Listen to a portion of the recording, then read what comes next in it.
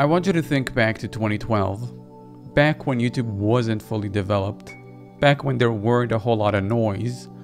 For me personally, I would only watch gaming videos every day since I came back from school.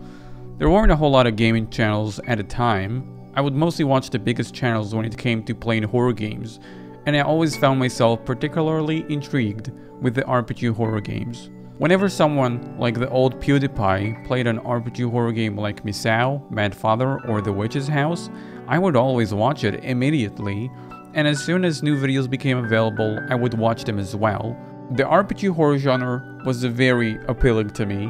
Some of the games have a very nice visual aesthetic, and most of them also have an interesting story, and these sort of games are not found in today's horror scene. However, as time went on, the bigger gaming channels moved away from the RPG horror games into the indie horror games we see today. However, there was that one game that nobody ever played or mentioned even, and very soon was forgotten and lost in time. It's not an RPG horror game, but it definitely gave me the same feeling. That game in particular had an interesting way of conveying its story. Some parts are hidden while others are not. The closest game to date I could compare it to is Doki Doki Literature Club, but it's not a visual novel either. Then what is it? The game that was forgotten by most on YouTube is called Irisu Syndrome. I specifically said YouTube because it does seem like there is a community for it out there, but when it comes to YouTube it only really boils down to me and a few other people playing it. The game was created by Watetsu. That name alone may suggest to you that the game was made in Japanese, but I wouldn't be able to play it if it weren't for Cheerful Tomboy and a few other people who managed to somehow get this game to work in English flawlessly.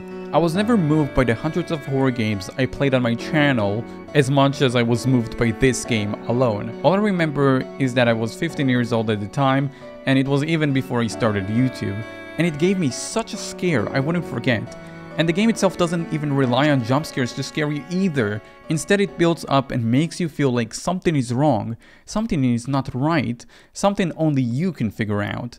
The only way to figure it out is by opening the game and start diving into what's going on. It's important before you do anything, place the game in a new folder and take a quick peek at it before you start playing. We have data and replay, which aren't very interesting to look at.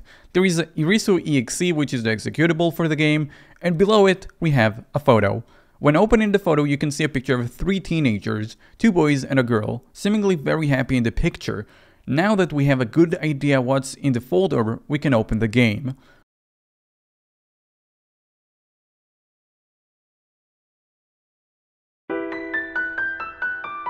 Right off the bat, we are greeted with a basic main menu screen. With a rather weird looking figure in it, she has a blank expression on her face and wears something that looked like a cosplay of a witch.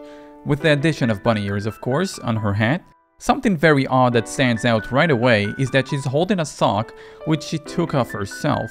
The sock looks like it has some serious weight in it, as it appears to be full and by the way it's tilted.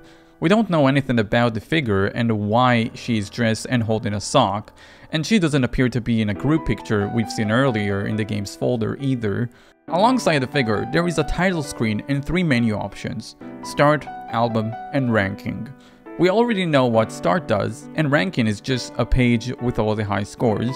The most interesting option here is the album which appears to have 5 grayed out pictures that you can't interact with. You can also hover over the title screen with your mouse and click to switch melodies. Well that's about it for the main menu. Let's go ahead and start a game.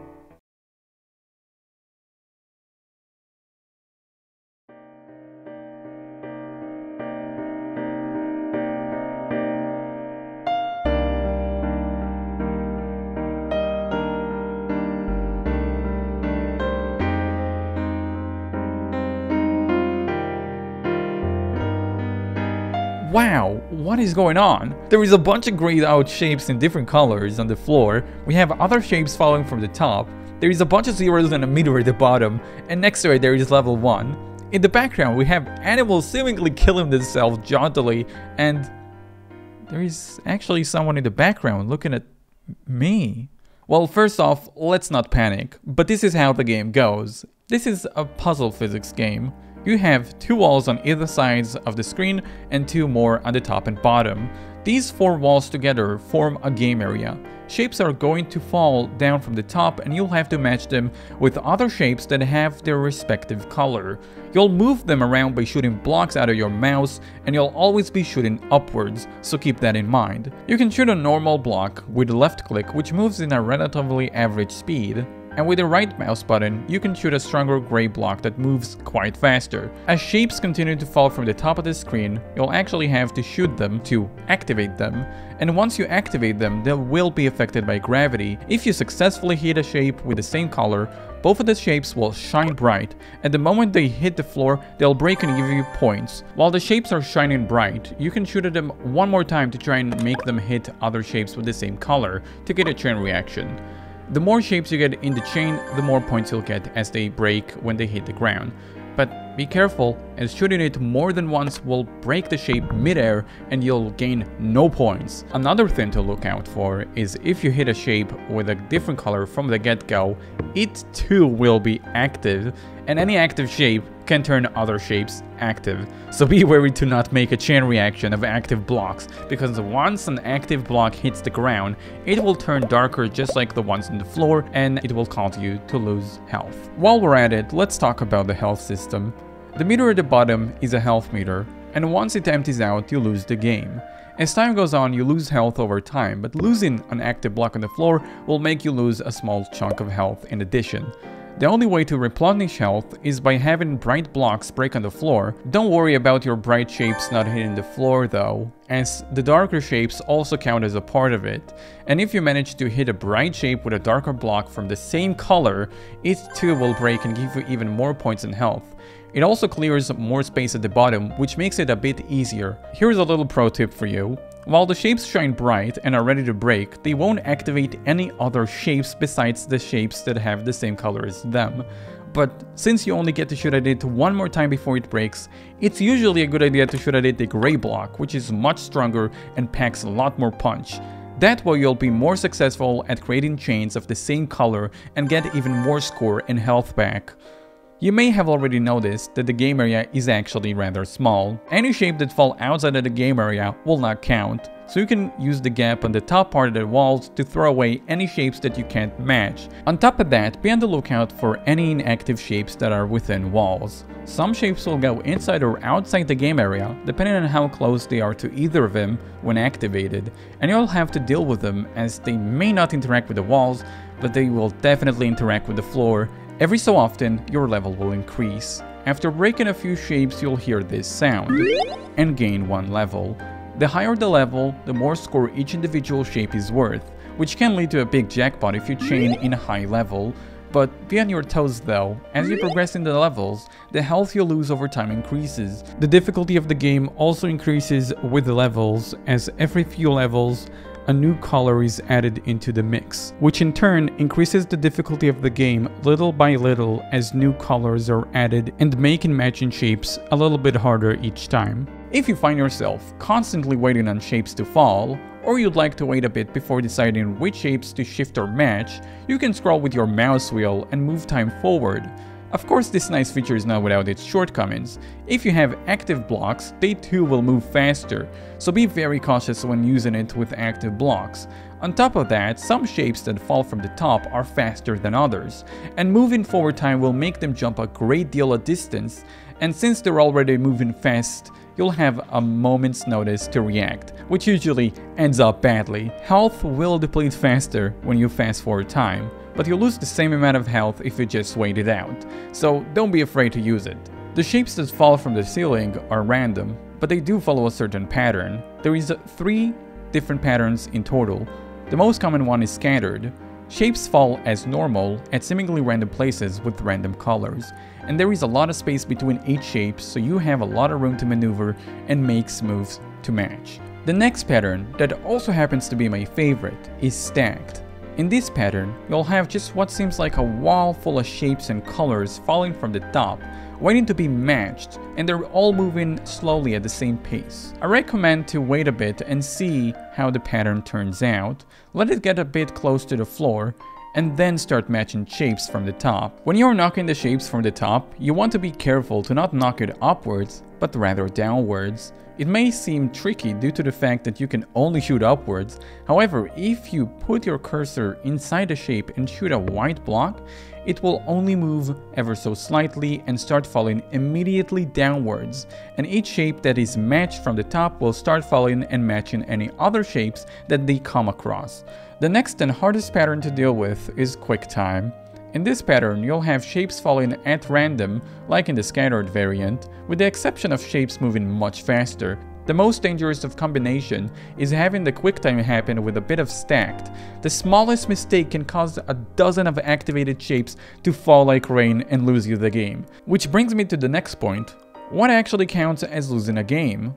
Well, you can't really tell how well you're doing apart than getting score. On the later stages of the game, you may get a visual cue if you're doing good or bad, but other than that, you'll only find out how well you're doing in the ending of the game. Lastly, we have this magic ball. It's a small ball that changes colors frantically, and whenever it touches a shape with a certain color, all other shapes with the same color disappears. And depends on the amount of shapes that were erased, you get health back. So sometimes instead of making a big combo or chain, you may want to forfeit the combo to use this magic ball and get health back. It depends on how much health you have, so make your decisions accordingly. Be cautious, as if it hits the ground, the ball will break and won't delete any shapes. You can also shoot projectiles at the ball, but it too, like an active shape, will be affected by gravity, and you'll have to control it steadily and make it touch a shape you want to erase. Just stay on your toes when doing so, as the ball feels heavier than shapes, and countless times while I was doing it, I ended up hitting the wrong shape as I couldn't control the ball well enough. It is very valuable when you're trying to get a high score, as the amount of health you get back is bigger than a large chain, and it can clear a lot of shapes from the bottom and eliminating the risk of them stacking up. One last thing I want to address is what's going on in the background. The background is very odd and consists of cats just doing what exactly? Well, there is a cat in a, a poisonous cake. There is a cat falling down headfirst into deadly spikes. There is a cat sleeping in a microwave, and a cat that straight up hanged itself. It's a very peculiar sight for sure, and you'll have to get used to it as it is the background for your game area. What could it all mean? Why are they all here? I couldn't tell you. We'll definitely get back to it later on. And yes, in the background, there is someone looking straight at you while you play the game, inspecting and watching your every move. Very unsettling to say the least. I felt very uncomfortable to play with this girl in the background staring at me, but after a while I got used to it. It didn't have much of an effect on me recently when I played it again for the review, but I think that's just because I play too much horror games that I'm prone to it. Despite not being spooked though, I can definitely understand if people are unnerved while playing just by this alone. My best advice if you find yourself preoccupied with this whole situation, just try and focus on the game and matching shapes. You'll quickly get immersed into it while listening to the incredible melody in the background. Speaking of which, I love the music in this game. It's absolutely top notch and goes very well with this sort of game. I found myself just forgetting about everything around me and lost within the music and the game for hours. Even after all this time I already spent playing in the past. Playing it from start to finish for this review was a blast, and you can just switch to equally as good melodies from the main menu logo and just continue playing and exploring the game. What happens after you lose a game? Well, if you thought someone in the background looking at you was unnerving, then you better take a look at this.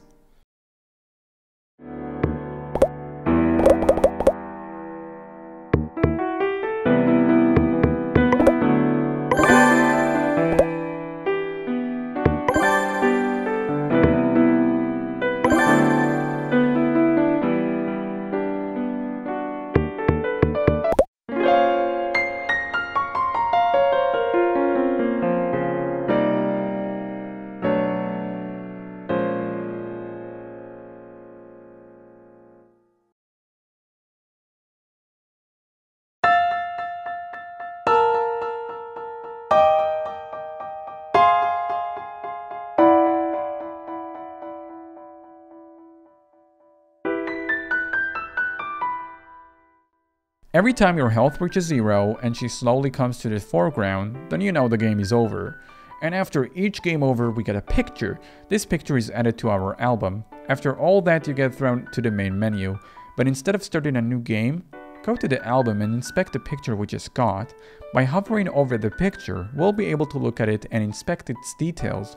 Click the picture from the album, and then you'll get a short dialogue between the characters in the picture. Ah, the sun is good. Good, eh? So, about tonight's dinner, uh, I have no idea. That's too bad. Let me guess, is tonight dinner canned food? Are you still going on about that? It sucks. Wait, there's no way we can catch fish here. We can't eat canned food either. We have to cook for ourselves. I brought the ingredients after all. I wish our dinner was grilled sea bream. Shut up and help me cook. Nah, that's too much trouble. I need to draw more illustrations soon. I really couldn't ever depend on YouTube for survival.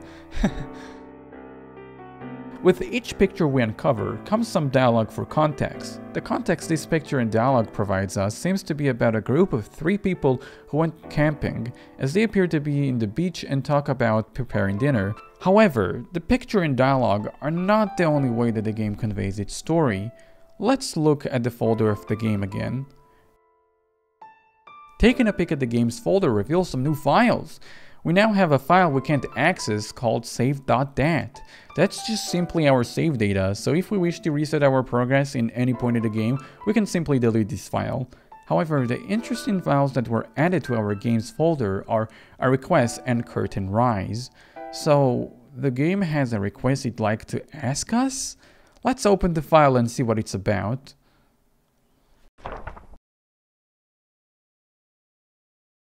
To everyone, day one. Everyone is getting along for now. In the hopes that you don't show unnatural behavior, I earnestly thank you. Everyone is getting along for now? In the hopes that you don't show unnatural behavior? Something here ain't right, but reading this request seems like there is more to this trip than just your average get together. Let's take a look at the second note.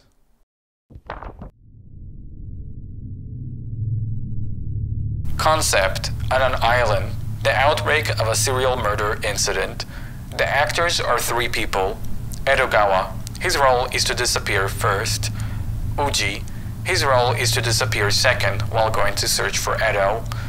Irisu, her role is to remain until the end. So, we seem to be some things together. As this note says, there is a plan for a serial killer outbreak on an island, and the people in it are listed as actors? As if it's some sort of a stage play. Do they even know they're actors? And have you checked the picture again? Let's take a look. The picture seems to actually be untouched, so there is nothing new here. However, the people in the picture are the same people from the picture in the album. Why would that be outside of the album? I feel like it's starting to get a bit confusing, so let's organize the names in the notes to the people in the picture. The bright-haired guy on the left is Edogawa, and the black-haired guy on the right is Uji, but the name of the girl in the middle of them is still unknown to us, as Irisu is the girl from the main title screen, and she's also the girl looking at us while we play with the shapes. Now that we organize the names we got and check in the folder, it's safe to drop back to the game. So just a reminder, a download link for the game is available in the description, in case you feel like playing the game later. And don't worry, I am going to drop a spoiler warning when we get to crucial plot points in the game. I guess since we dropped the game and you guys don't want to see me go through a full round, I can fail immediately for you guys.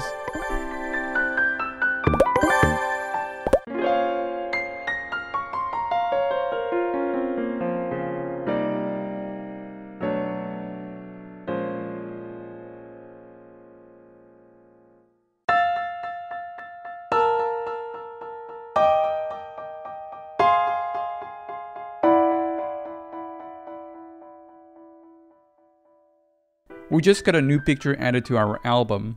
So why did I get a picture after losing immediately, you may ask? Because this game waits for no one. It's a heavy rain type of deal. You screw up, there is no game over. The game continues and there will be consequences for failing. So let's check the album. They say that the witches change experiments. Uh, you're quiet. What's wrong? You really are bad with this sort of thing, aren't you? No, it's, it's not that. I saw it just now. I saw some person with weird clothes. What do you mean? You know, like an apron dress. That kind of odd skirt and clothes. Wearing a hat like a witch's, with rabbit ears sprouting from it. A person like that was standing and looking at me. What's that? It's not like Edogawa's ghost story. It's a rabbit witch. I saw a figure in the distance. Uh, here. Someone beside us was here. It seemed like that person was watching intently, silently staring at us. Maybe you were just seeing things. No, she was a bit far and she left quickly, but I definitely saw her, I'm sure. I wondered if I was seeing things, so I felt bad and tried to forget it, and didn't say anything to anyone. But I really saw someone. Will all be materials for the witch's experiment then. Ah, stop it! Stop it! I'm sorry, it was too funny. Let's sleep. You'll forget about all this in the morning. From what it seems, Edogawa is telling a spooky story about a girl in a witch's clothes and a hat with bunny ears, which looks very much like someone we already know, and scaring both of his friends in the process. Let's take a look at the folder now that we're done with the picture. Within the game folder, there is a new text file called to Edo,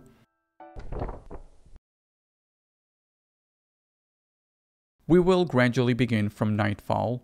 Please appropriately make up some ghost stories, like we planned at our recent meeting. Incorporate what we talked about into your story.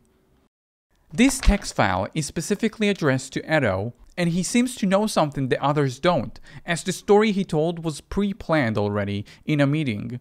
On top of that, the note reveals that whatever sick plan is happening, it is planned to start right from that night of the story. Before we move on, let's take a quick peek at the photo. The photo seems to be unchanged once more, but it's always good to check everything in the folder for any changes, as we are doing it after every single round. Well, I guess it's all clear, so let's go on to the next round. So at this point, we are getting a picture after each game we go through, but how do we know if we're doing good or bad exactly? Well, it has something to do with the score you get before the game ends. If you score less than 20,000 points, then you may be doing bad and sooner or later you'll find that out. But if you reach 20,000 or more points, then you're doing good. But it's worth mentioning to not stress over the score too much. You can score below 20,000 but still be doing fine if you do well in other rounds. There is one more thing however, but we'll get to it in the next round.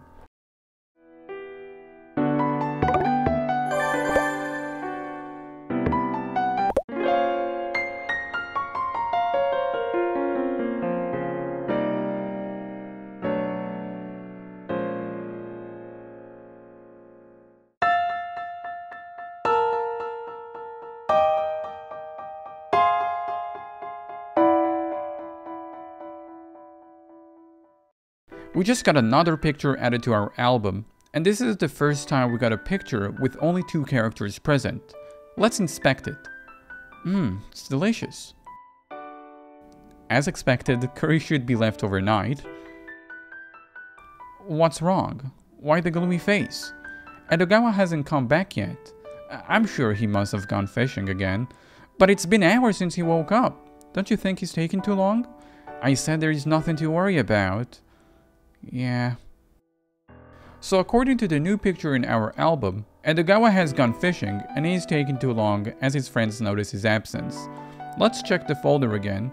Usually after each game we get more text files to give us some additional information so we can make more sense of it. Uh, after checking the folder, there doesn't seem to be any new text files. So Edo is just gone and we don't have any information of his whereabouts. I guess since there is nothing for us here, then we better head back to the game. Oh wait, I forgot to check the phone.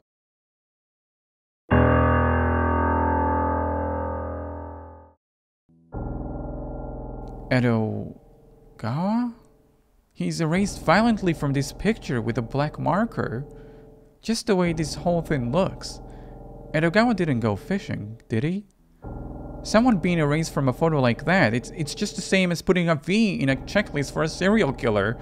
The game for the first time did not give us any new information by text, but it didn't have to. It showed us all we needed to know in a single picture. The game not only can spawn text files in your folder, but update existing files as well. This is getting freaky.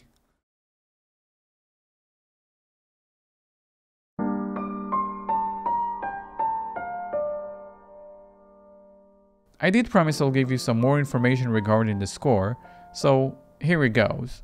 Score is not only a way to determine if you're doing good or bad in the game, it also plays a part in hiding some dirty secrets. Depending on what score you get, it too can spawn secret text files in your folder. But not all secrets are available from the beginning too, as you have to obtain some pieces of the story before they become available. But there are some that can be uncovered. If instead of scoring 20,000 points and double your score to 40,000 points, then take a look for yourself.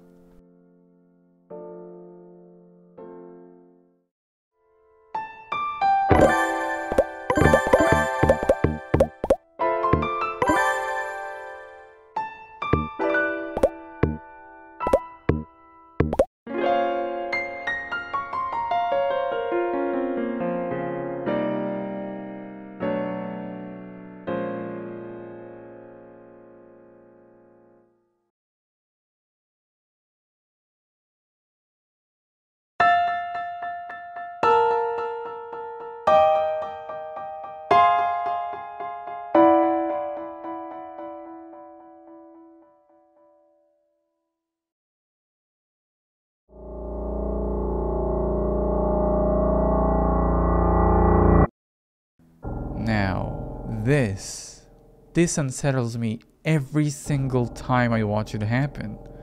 She looks so deformed. She looks inhuman. Uh, what's going on? Her eyes are red, and and her chin look like a smile. Oh yeah, the game continues no matter what. We just got a new picture added to our album. This time, Uji and the other girl that have been dining in the morning are seen in a forest looking for something. Edogawa-kun, where are you? Huh? Huh? Oh, what is it? I, I think I heard something over there. Really? I didn't hear anything. Wait here, I'll go look. Huh? W wait! Hey! Be careful! It's fine, it's fine. I'll be back soon. They finally decided to go look for Edogawa, and Uji claimed to have heard something and went alone to check it out. He did promise he'll be back though, so I guess no worries. Without even thinking about it, we check the game folder. After a quick inspection, we find a new text file within, and it's addressed to Uji?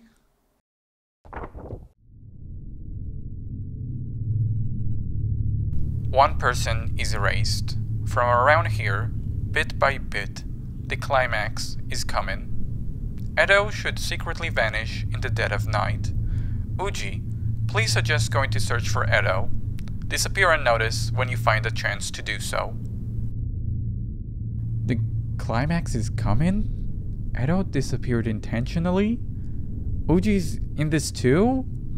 We are getting close to the point of no return. Something big is going down, and still there is so many questions. If Edo vanished on his own accord, how come he was erased so violently from a group picture? It just doesn't seem right. Uji also doing the same and was planning on disappearing unnoticed too. At the moment he left her in the forest on her own, they're plotting something that involves her, but she doesn't know it. A quick look at the photo reveals that Uji is yet to be erased though, and remains unchanged through this transition. In this point in the game, the score is very important. Let's head back into the game.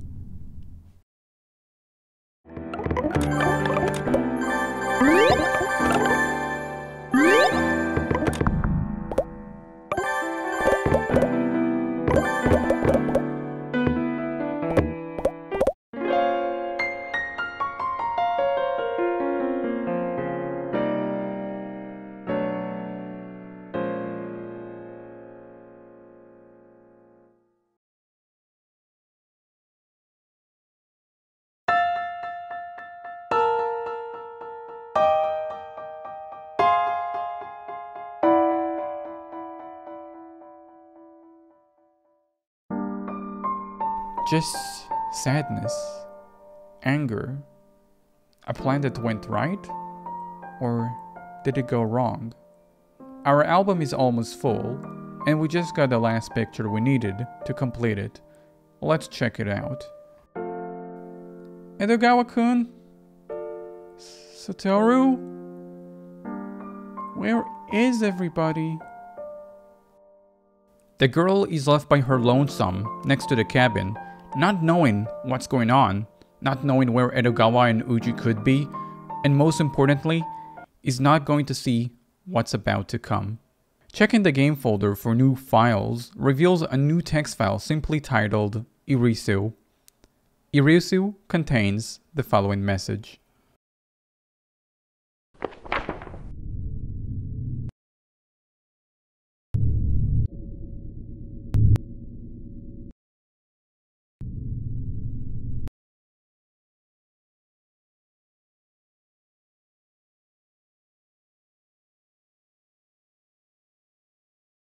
This message contains nothing.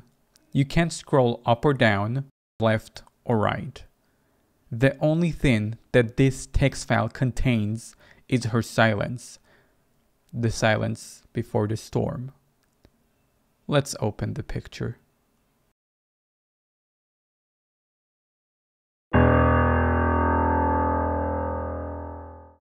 Edogawa didn't go fishing. Just like Uji did not hear anything in the forest, now too, they share the same fate. Whatever that is. I actually cannot continue without plastering spoiler warning all over the screen. I'm about to discuss some major plot points and the ending. We inspected the last picture in the album, and we reviewed the new files within the game folder what happens in the last scene depends if we did good or bad with playing with the shapes. You may have noticed some visual cues of me doing bad. So, let's just hop right back into the game. The last round. I'll end it.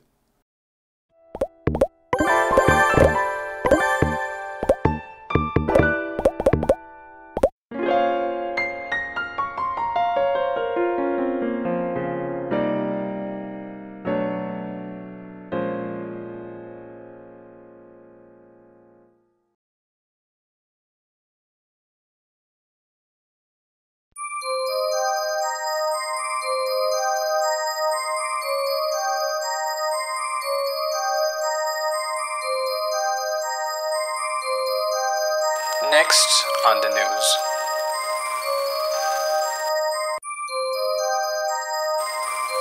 University students have gone missing. A single body has been discovered.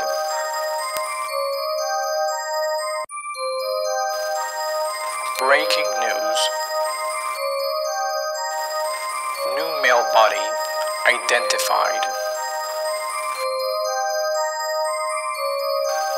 From the teeth, Edogawa Takeru. Police still searching for whereabouts unknown.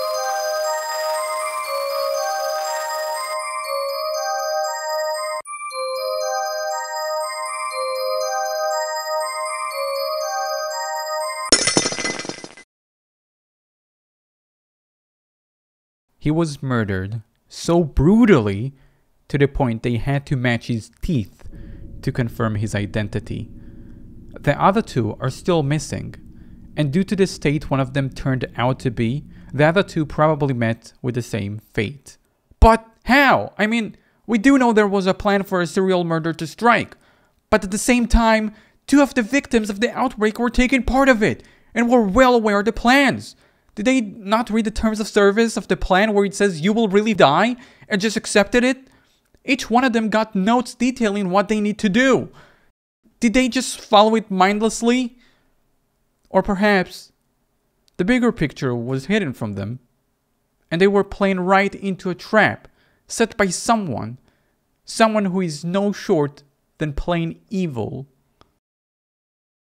The ending features a dark room and the only light we see is emitting from the TV on a breaking news broadcast. Irisu is sitting silently, listening to the broadcast. She's probably not one to care for the news, but she was still listening to the TV. She made the news after all. The news report revealed the fate the three missing students met.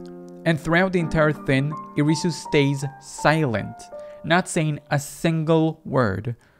It's time for us to check the full. All three students are violently erased from the photo. Edo, found dead. Uji, missing. And lastly, the girl in the picture, her name is Ageha, is missing.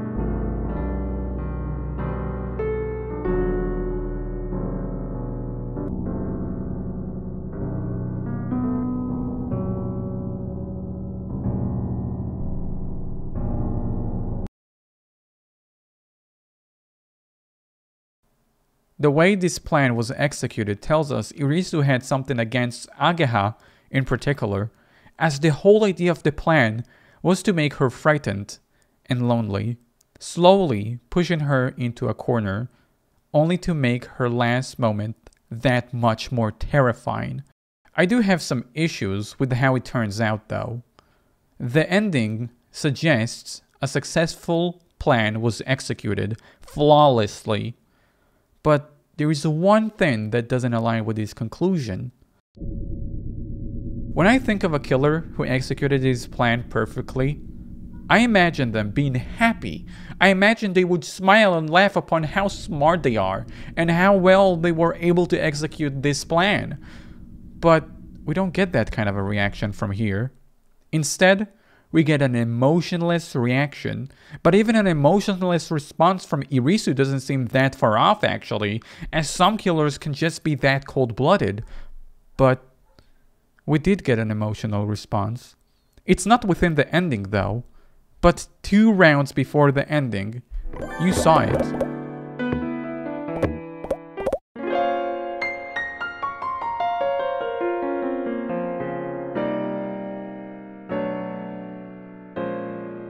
She was breaking down in tears. She was sad, she was crying, and she couldn't stop. As the next round, she was still crying uncontrollably. That is not the response of a plan going right, but quite the opposite. That is the response of a plan going wrong. But where exactly did it go wrong? We already found out she killed Edogawa in cold blood when he went fishing. But if killing was not on the agenda for her, she would have cried after killing him too! But she didn't. She looked completely normal as the other times when we got through the first two rounds. We were able to find out that the plan went wrong, but we don't know what went wrong. Due to these confusing cues we are getting from looking at the story, we are unable to answer anything. Not yet, anyway. What we have right now is three dead students a sad killer, and unanswered questions. Maybe getting the good ending may shed some light on this situation. Time to delete our save file and start anew.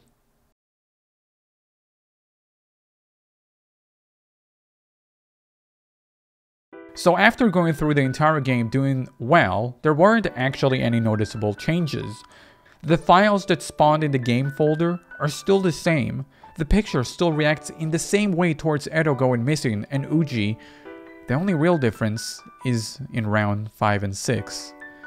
Irisu didn't cry this time, and had the same reactions across the board, which can only mean one thing. Everything is going according to plan. It's time to go through to the next round.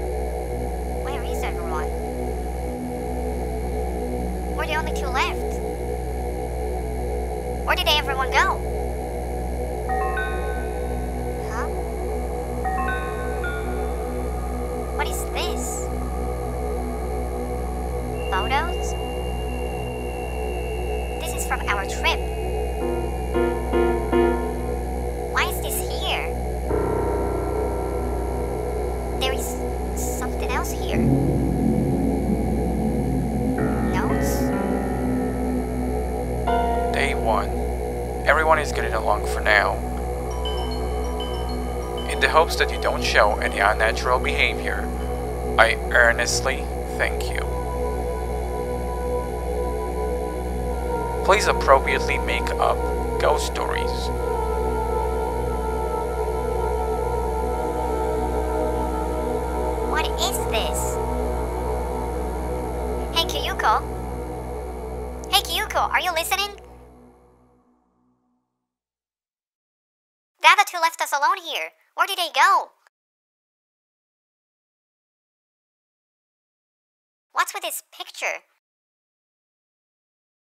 What are these notes?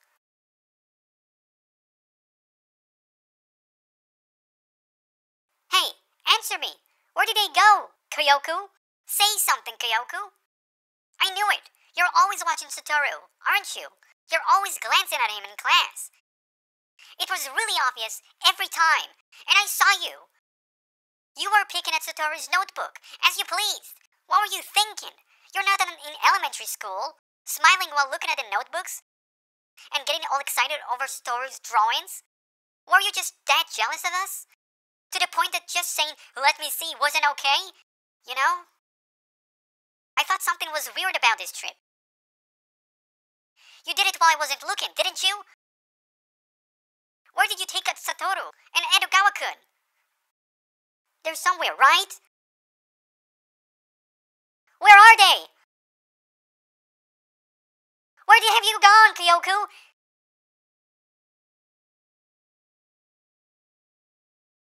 Irisu Kyoko!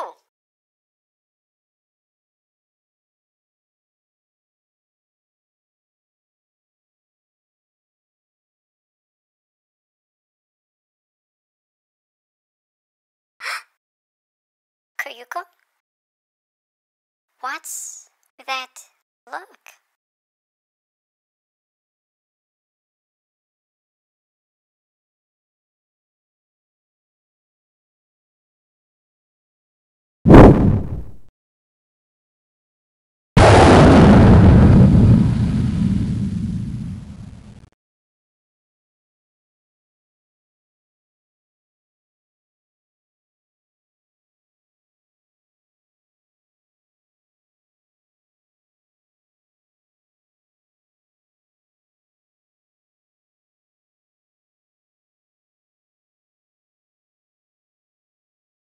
Happy birthday! Happy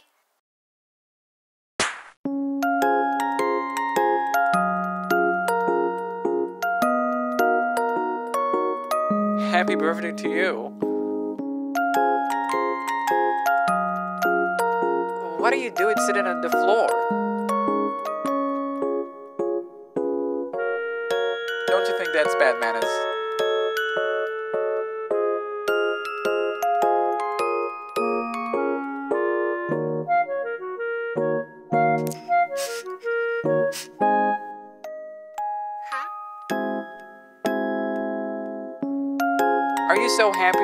To cry? It's alright, it's alright.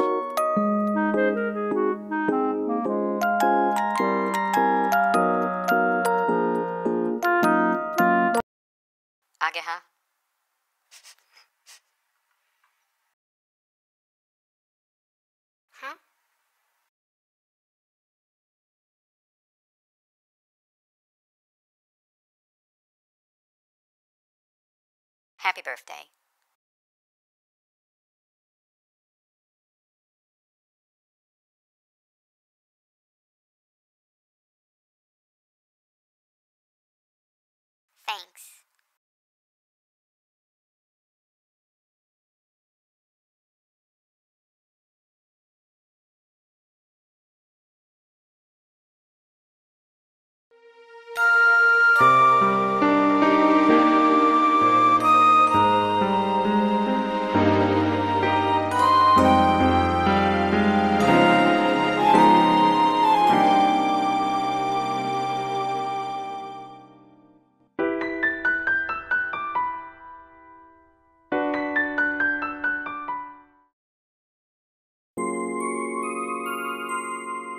A happy ending. Uji and Edo are well, and the whole serial killer thing was just a joke for a surprise party. I'm baffled her friends would actually do something like this. That's like the most mean birthday I've ever seen. Asking why she's crying when she thought it was her last moments, and she's going to get outright murdered. Oh wait, we have a new file in our folder. What's this?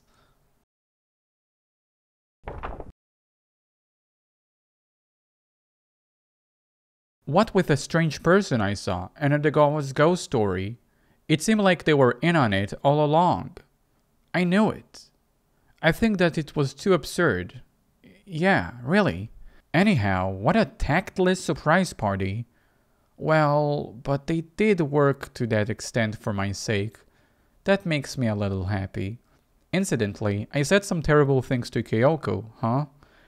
Though it didn't really seem like she was listening. Sorry.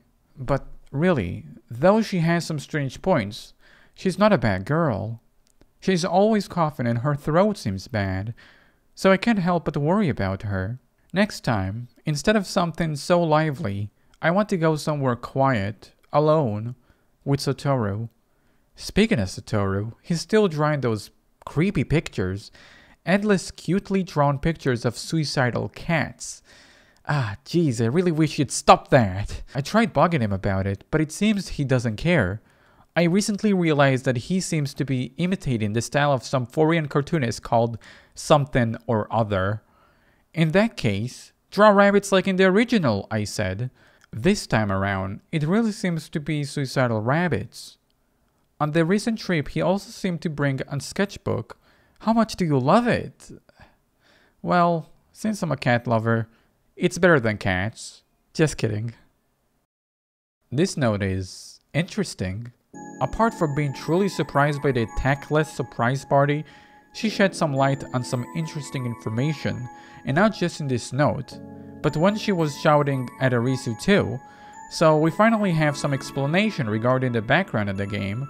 We know that Uji made it, lots of suicidal cats all drawn by him, and he is very passionate about drawing suicidal cats, as he brought a sketchbook with him on the trip. Is there any reason why it's in the background of the game? At the moment we don't know the answer. Furthermore, we don't know why he is even drawing those cats in the first place. All we know is that he's very passionate about it. That's a bit unsettling. But it might just be a hobby, which is completely fine. I don't judge. He did draw something else though. According to Ageha's note, he also drew suicidal rabbits. We haven't seen any of those, but we do know that it exists. Uji is turning out to be a bit weird, and in a bit of a predicament as well. If what Ageha says is true, when she was shouting at Irisu moments before she got banged in the head, she actually said some curious things about Irisu after she found out the notes. She claimed that Irisu was always glancing at Uji in class, picking at his notebooks to her heart's content without his knowledge, and smiling while looking at his drawings. The drawings of the cats? Is there something amusing about suicidal cats that I'm missing? How come Uji and Irisu are enjoying these drawings so much while I'm over here feeling unnerved seeing such a cute animal doing these acts? Can they possibly symbolize anything?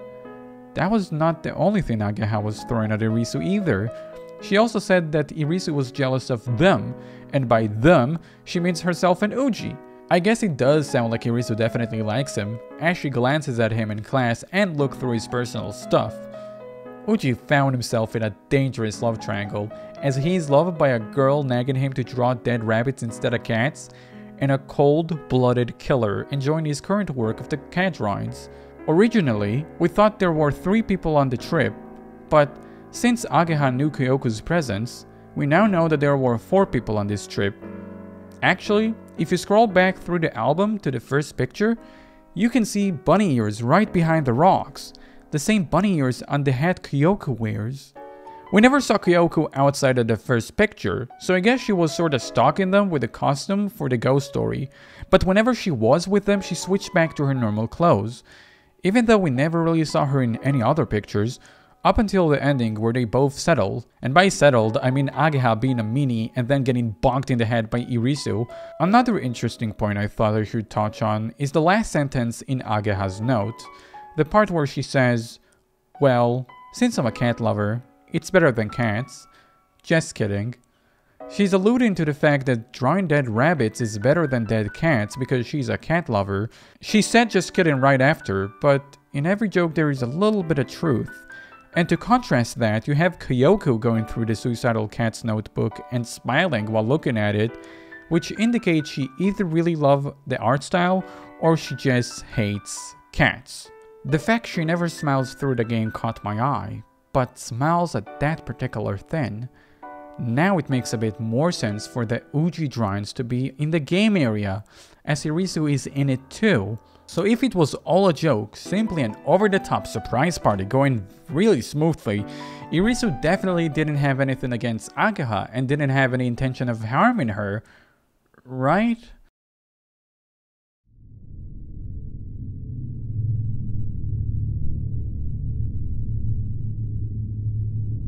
Going back to the photo now reveals it is clean from any marks, just like the way it started. However, there is something odd going on here, an important event that may indicate something is still going on. When you get the bad ending, you can just go ahead and play, and the game sorts of resets itself. The album is wiped, and you have to go through the rounds again and gain those pictures to enter your album. Nothing out there, but when you compare it to what happens after the good ending, you definitely notice a change.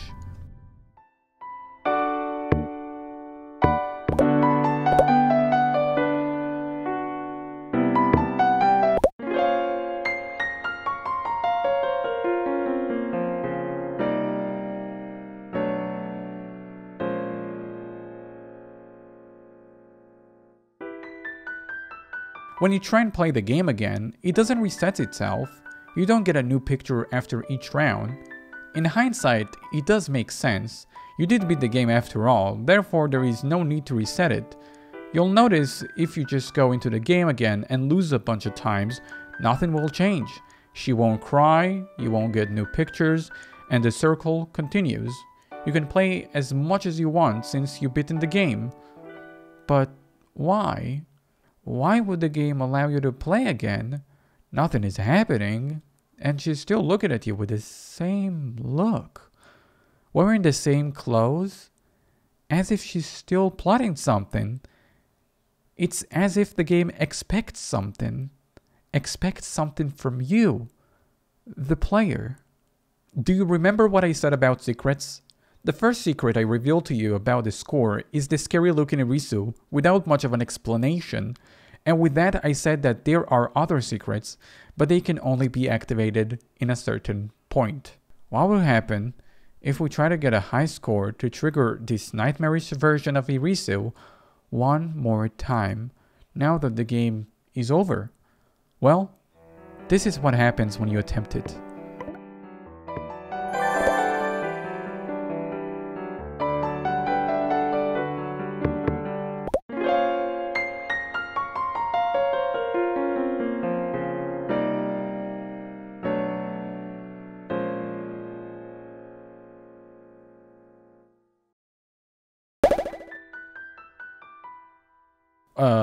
Nothing happened. Well, we definitely didn't get a picture, but wait a minute. What's this? It's a small face of a cat. Why? Well, I'll expand more on it later. In case you're wondering, I didn't go through another round to show you a picture of a cat, but rather to show you another picture, which you are all very familiar of.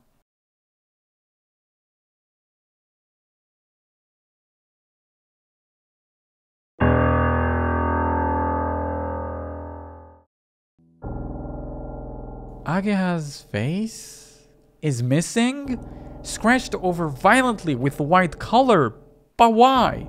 Just a second ago, we saw Kyoko celebrating Ageha's birthday. For God's sake, she was the one who organized the entire thing. She was the one handing out notes to Edo and Uji. She was the one who came up with the brilliant plan of a serial killer outbreak as a surprise party. She was the one who thought of it all. So why all of a sudden is Ageha marked again? Well, We saw Ageha's note. How about we take a look at the other side? In the folder, a new text file emerged. Lately, I've been taking cough medicine without restraint. This note contains some of the darkest secrets and answers to our questions.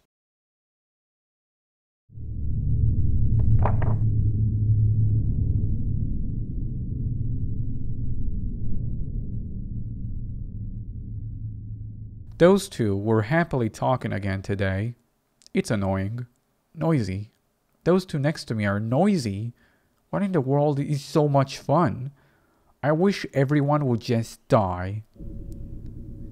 Today, my eyes met with Alone Boys. He gave me a nod with a bit of an embarrassed smile. He was cute. Ujima Satoshi kun. That was the kid with the cute smile. The gentle kid who even gave a kind smile to someone like me. He's always alone. Just like me. One day, I picked at Ujima kun's notebook. There, a strange world was spread before me. Many pencil drawings. A cat cooking an earthen brazier in a sealed room. A cat flying a kite in a thunderstorm. A cat killing itself slowly with tobacco smoke. A cat struck in the head by a falling bullet, which had been shot straight up from a gun. Illustrations expressing such hatred towards cats were lined up. He's like me, a person with the same feelings. That time our eyes met was fate, and since that day, Ujima-kun and I have been together. These lectures are the one chance I have to be happy together with Ujima. We always sit four empty seats apart. Some way or another, it became like this. I love that I can feel him through his odd sense of distance. Uji and I meet several times a week, sharing the same place and time. It's been so long since I've felt this happy.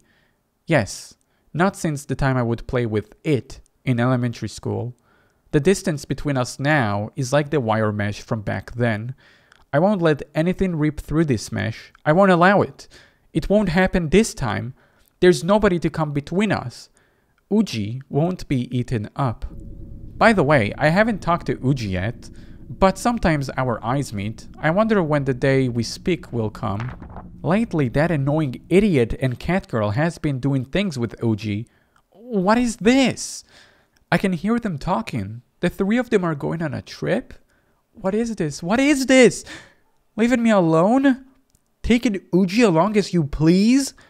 What do they think a person's loved one is? That thieving cat. The coffin. It won't stop. It won't stop. After all that's happened, I finally understand what I need to do. Each one of them has to the plan has been refined. Them and I, us four, will go on a trip to a remote area. I will kill Ageha and Edogawa. Exams, library, opposite me. Those three are laughing about not knowing anything for tomorrow's ethic tests or something. I make an effort to modestly address them the three of them stop their conversation and look over with puzzled expressions. This moment of being stared at is unbearable, although an unpleasant feeling sticks in my chest. It's fine. I can do it if it's for Uji's sake. I'll fill the distance between us, little by little. I was absent from the lecture. If it's fine with you, can I copy your notes? This time, I certainly went down the rabbit hole.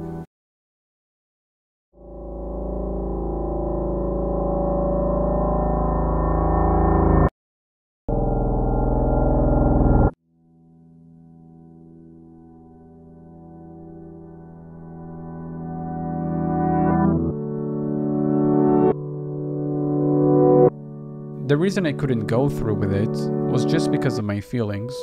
I intently destroy odd things in the cold, inhuman reality of the strange world on the back of my eyelids. It's a game I've played in my entire life, ever since my lonely childhood. As I play the game and calm my heart, my feelings of insecurity have somehow disappeared. Now I want to thank such fickleness of mine from the bottom of my heart. I almost crossed the point where I could no longer undo my mistakes. At that time, I was utterly strange. Firstly, there is no need to lure my loved ones to the scene.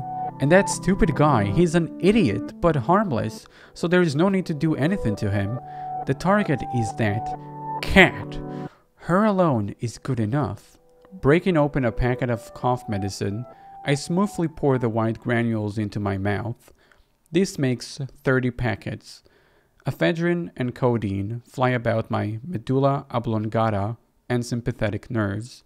In my hazy, drunken brain, thoughts spin and turn. Last time, I was too interested looking to entertain myself. This time, my feelings will not waver. This time, I'll cut emotion out of the equation. I will doggedly attempt to construct a flawless plan, and if I succeed, alone with Uji, our backs to the sunset, we'll admire those beautiful drawings together.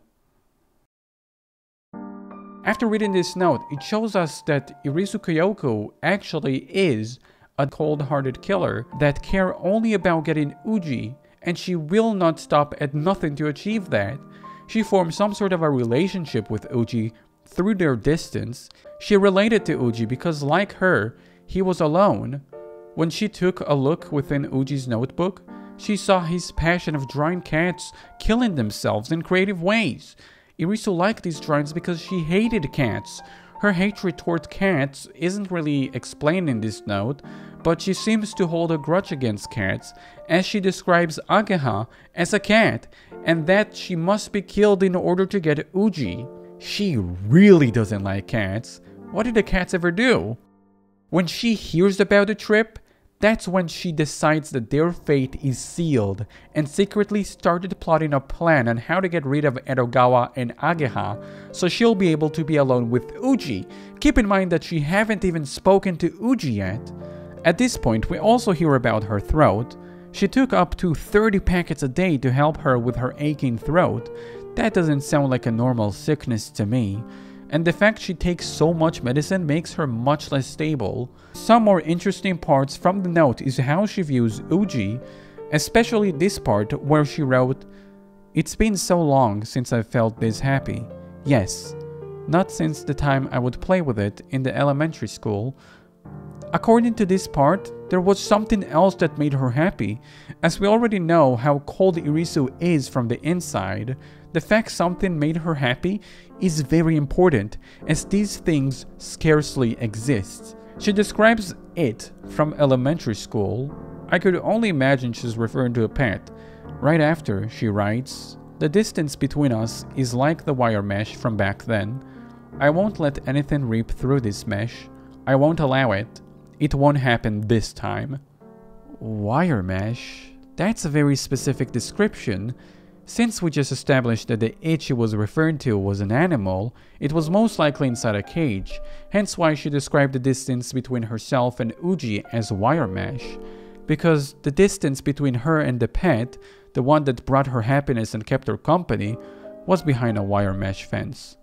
In addition to that description, she also writes something about ripping through the mesh, and that she won't allow it this time, meaning something broke through the fence, and she won't allow the fate of the pet in the cage to happen to Uji. This time, she's going to be a lot more calculated. This time, she will avoid any unnecessary killings. This time, she had a target, and she's determined to not fail. If emotions will try and get in the way, she will ignore them. For Uji's sake. This note contains so many secrets, but there is still a problem. There is still many problems, in fact, but before we explore this any deeper, I want to divert your attention back to the game. You can still play it. It still doesn't reset. And it still looks like it's expecting something. Let me tell you what it's expecting. It's expecting you to play. It's expecting you to try harder. It's expecting you to go above and beyond. For Uji's sake. It's expecting you to reach over 100,000 points. Now, if you have played the game, you may know how hard it actually is to reach such a goal.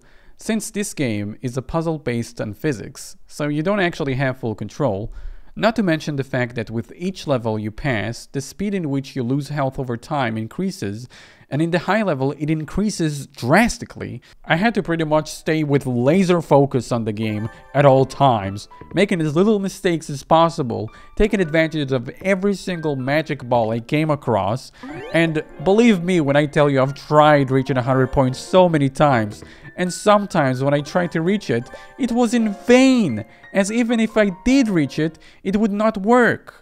The 100,000 points mark will only reveal its secrets in this point and no other. Going for 100,000 points before you reach this point will do nothing. Once I got to that, after ending point, I tried again and again for a long time I sometimes got angry. Sometimes I was sad. I got lost around my own thoughts, spinning and turning, until I was in control. I was...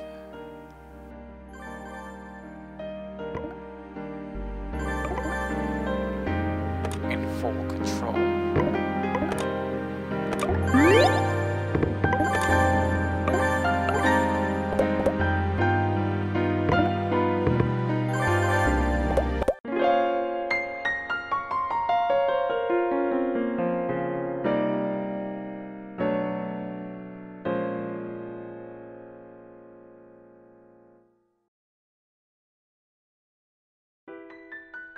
I did it! oh man, I tried so hard. I got lost in that world, and finally I got it. The 100,000 points. What did I get though? Well, I got a photo. And it's naturally not in the album, so let's check the game folder's photo.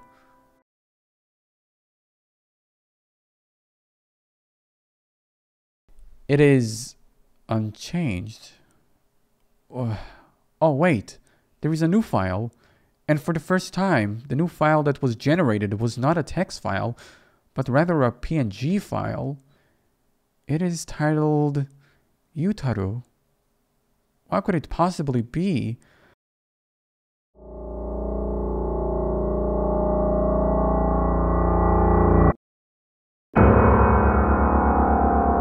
What the hell is that? What am I looking at? What is this? Who made this? It looks so demonic and evil. It looks like something we've seen before. It—it's a rabbit. A red demonic looking one. Filled with rage. A rabbit that is missing his left ear. But, wait a second. What's that behind him? The way this is all laid out, he doesn't look like a part of this drawing. And he's covering the actual drawing behind him. Behind, we see a head of a rabbit, expressionless, with red eyes, next to two small rocks, and by the looks of it, he has a small puddle around him. Since his head isn't attached to his body, it's safe to say that he's laying in a puddle of his own blood. What are we looking at? How did we get this? Why would someone draw this? I don't understand. This was hidden behind such a high score. I can only think of one person who could have drawn such a thing. Ageha's note says it all, and according to her note, he really did. But I have so many issues. There is so many things here that doesn't make sense. If Uji really did draw this, why would he draw it like that? Most of his drawing seems like all the suicidal cats are doing it to themselves, hence the suicidal part. But this Drain in particular is anything but self-inflicted. Look at the Drain again. How would he be able to inflict so much damage? His head literally ripped apart and his body is nowhere to be found. It looked like someone else has inflicted these fatal wounds. Why would Irisu cry about the death of two other people? When she killed someone already and she was completely emotionless. None of this makes sense. Why does her throat hurt? Why does she dress like a fucking bunny witch? Why is she calling Ageha a cat? Why does she look like this when you do very good? Her chin looked like a fucking big smile and she looked like a giant rabbit. Oh yeah, that one time she cried. Did she cry uncontrollably because that round we killed Uji? Is that why ever since that round we killed Uji, she cries uncontrollably in the rest? Sure, but why would she kill him? You read the notes, she says she likes him. Everything she's doing is for his sake. What could have possibly happened that made her change her mind? You saw it. The ending where one dead body is found and the rest are missing. She can kill them. It's a possible scenario, but what could have possibly changed that made her kill him in tears? It was all planned after all. I'll tell you what, none of it was planned. Ageha is not a cat, and Uji is not a rabbit. And please someone tell me who killed the rabbit? Who killed-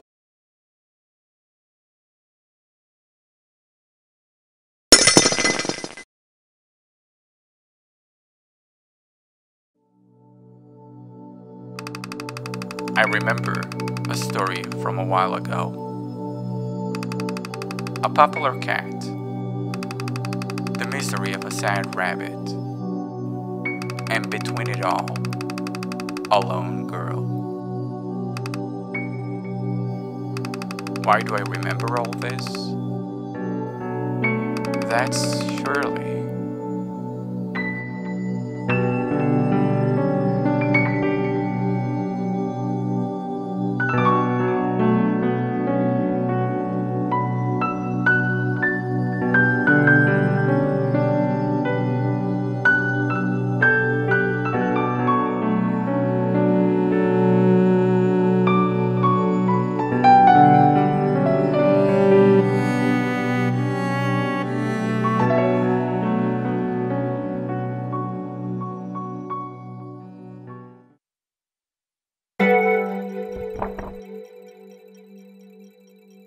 You made it this far, huh?